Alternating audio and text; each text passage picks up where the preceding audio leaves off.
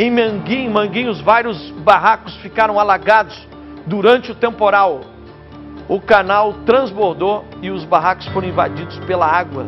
Móveis foram destruídos, teve gente que perdeu tudo, sem poder voltar para casa. Os moradores foram levados para um abrigo. Aí, ó, esse córrego aí que, que avançou.